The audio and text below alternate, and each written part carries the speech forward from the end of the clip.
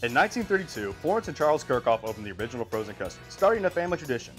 From a secret recipe for rich and creamy vanilla custard, other natural flavors were created.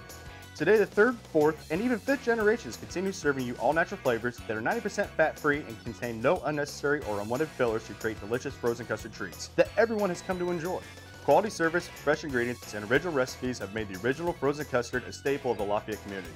Stop by and make the original frozen custard part of your very own family tradition, just like ours.